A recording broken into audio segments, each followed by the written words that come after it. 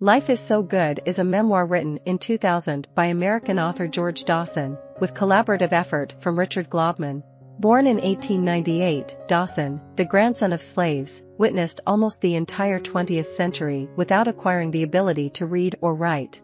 At the remarkable age of 98, he embarked on the journey of learning these skills, prompting him to share his perspective on America during the 20th century and his wisdom for navigating through challenges. Dawson attributes his lifelong illiteracy to the harsh realities he faced, shaped by the lingering effects of slavery, persistent poverty, and racial discrimination. His memoir garnered attention due to the convergence of his age, life experiences, late literacy acquisition, and his optimistic outlook. Dawson's primary motivation for writing his memoir was to distill the components of happiness.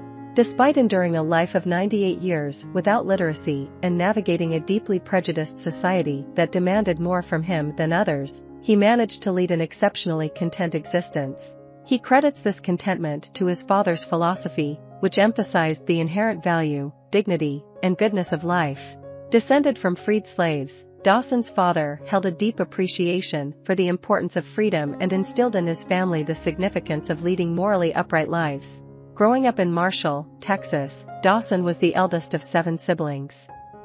The family's dire financial circumstances forced him into work as early as the age of four.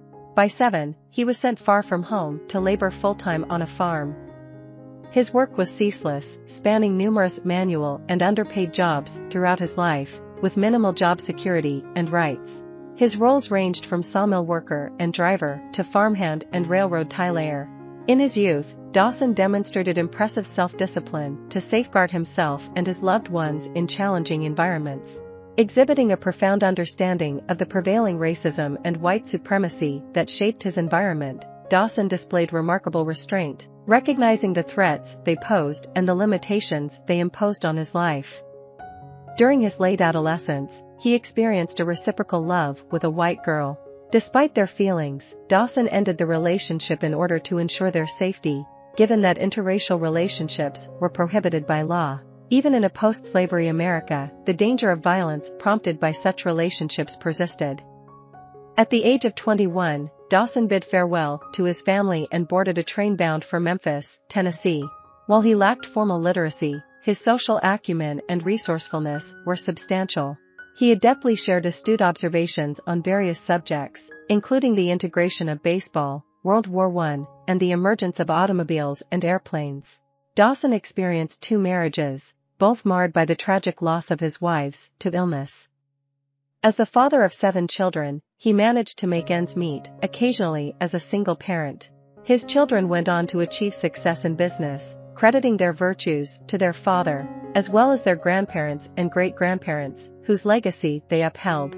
At the age of 98, long after his official retirement, Dawson was presented with the opportunity to learn to read and write. Encouraged by a local teacher, he initially hesitated due to the challenge of acquiring a new skill at his age. Nonetheless, driven by the desire to be able to sign his name, read the Bible, and engage with newspapers, Dawson embarked on the journey of learning. Mastering the alphabet quickly, he achieved reading and writing proficiency within months. His memoir concludes with a reaffirmation of his life motto, life is good, and one's circumstances can improve through genuine efforts to contribute positively to the community and embrace the best version of oneself. Life is So Good stands as a testament to the potency of positive psychology, offering a vibrant depiction of the simultaneous challenges and joys of navigating life as a black individual throughout the 20th century. I hope you enjoyed this video, leave a like if you did and be sure to subscribe thank you.